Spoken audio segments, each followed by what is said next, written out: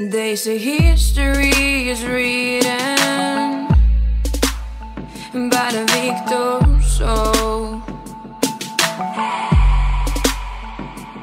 I don't mind playing the villain.